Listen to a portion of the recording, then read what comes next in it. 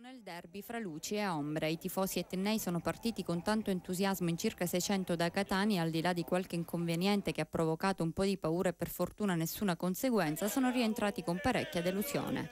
I sostenitori rosso-azzurri sono arrivati a Palermo con le proprie auto e a bordo dei pullman dei club organizzati da San Giovanni La Punta, Gravina e Battiati.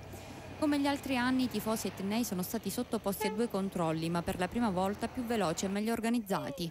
Uno affidato alla questura di Catania e l'altro a quella di Palermo, quest'ultimo a Termini Merese. All'interno dello stadio Barbera, quando tutto sembrava filar liscio, fra cori di scherno e classici sfottò, svetta il solito idiota che prova a rovinare la festa con il lancio di fumogeni e petardi.